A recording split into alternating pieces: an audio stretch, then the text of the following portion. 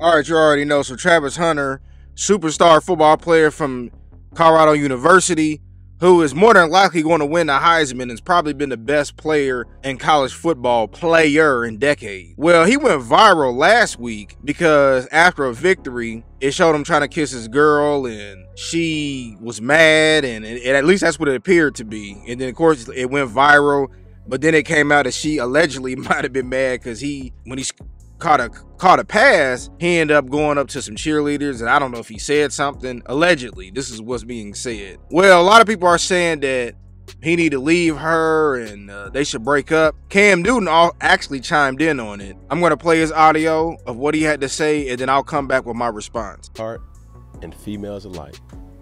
I'm not saying this in a disrespectful manner. Just understand what comes with the guy that you're dating and not be naive to who he is. It's hard.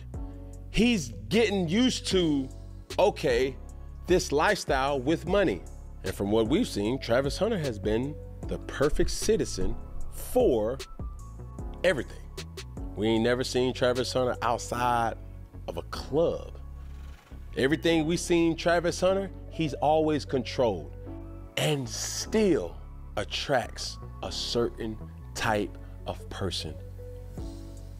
I'm saying all that to say, and I'm just using this example because what we saw was what everybody else saw, is we need people around us that understands what we're going through or can try to understand. But as a young player that's 20, 21 years old, bro, he's still figuring this out. Then I'll go back to and I'll say this. It's not going to get any easier.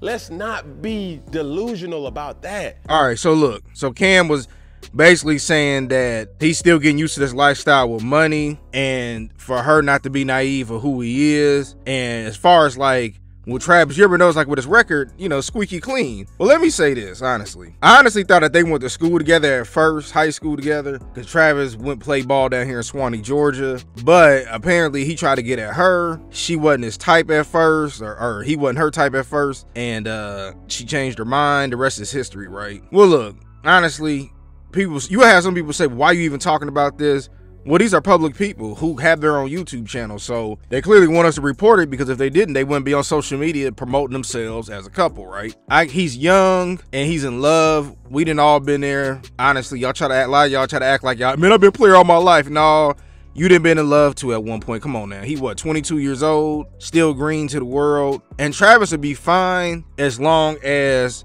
he gets a prenup. Now, look, maybe they, they, I know they engaged.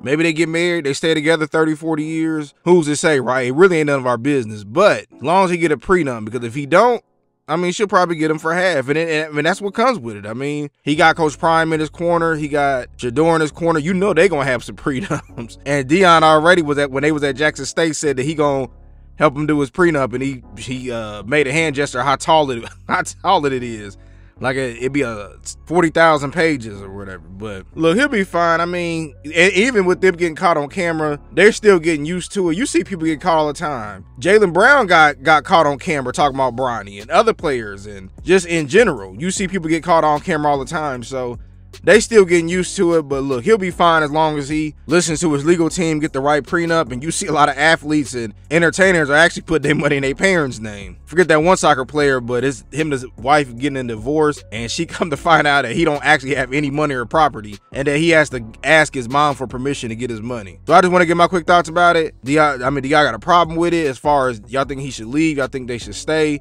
Like I said, man, they young. I mean, it is what it is. They they just and I mean, honestly, you can make the argument with Kobe. You see Kobe marry Vanessa, and I mean, people's like, oh man, she a gold digger and all of that, but they stayed through, honestly, until the unfortunate passing of him. So yeah, just let me know what y'all think.